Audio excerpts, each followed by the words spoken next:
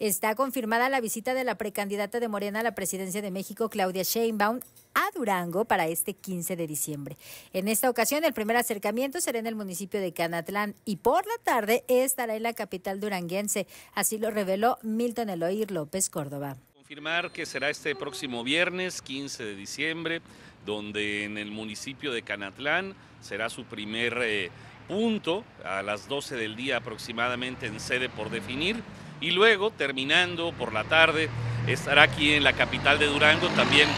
ya como precandidata. Hay que recordar que las ocasiones anteriores había venido dentro del proceso interno de Morena, ahora sí ya con el tema de la precandidatura única de Morena, Partido del Trabajo y Partido Verde, estará presente en estas dos ciudades, Canatlán y Durango, y estamos sumamente contentos eh, por volver a contar con su presencia, tercera vez en menos de seis meses que está aquí con nosotros en el estado, ya visitó Lerdo, ya visitó Durango, ahora Canatlán. Hay que recordar también que el próximo año está en disputa el plan C de la mayoría en la Cámara de Diputados, en la Cámara de Senadores, por eso también se están recorriendo municipios en todo el país que representan los diferentes distritos electorales, por lo tanto hay una gran estrategia nacional para no solo ganar la presidencia de la República, sino también la mayoría el plan C en el Congreso de la Unión. ¿Crees que el plan C funcione, que la gente lo entienda? Sí, claro que sí, la gente va a ver los perfiles una vez que estén definidos, va a valorar las propuestas y con el gran eh,